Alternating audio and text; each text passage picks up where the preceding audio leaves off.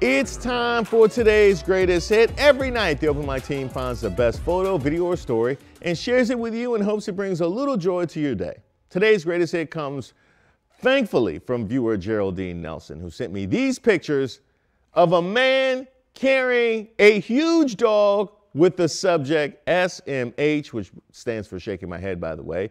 It, and it, it is the nonverbal equivalent of stank eye.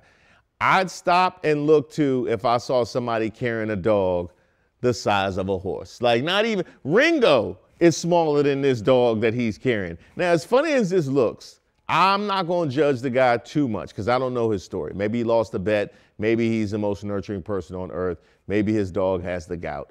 I don't know. In fact, we may never know the truth. What I do know is this man has a whole lot of upper body strength, and I'm staying on his good side because it couldn't be my dog. Y'all know I love Biscuit, but she's walking unless she can't walk. And by the way, she has twice as many legs as me. She's going to be all right. But shout out to you, Geraldine, for sending these pictures. I do want an explanation. I am holding out judgment until I get an explanation, but I do need an explanation because if this is just a show of affection or love, he needs to have a photo of him and his dog taken and placed behind the register and banned for whatever said establishment is that he darkened the doors of.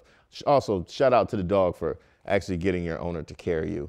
Uh, even though you have twice as many legs. This is like the closest thing I've seen to a Muppet in real life. As always, if any of you guys see any other people holding large or fluffy animals inside a store or being this extra, or if you know the story, I'm at Reese Waters on most social media, Mr. Reese Waters on TikTok, or email rwaters at WUSA9.com. I need a story. We'll be right back.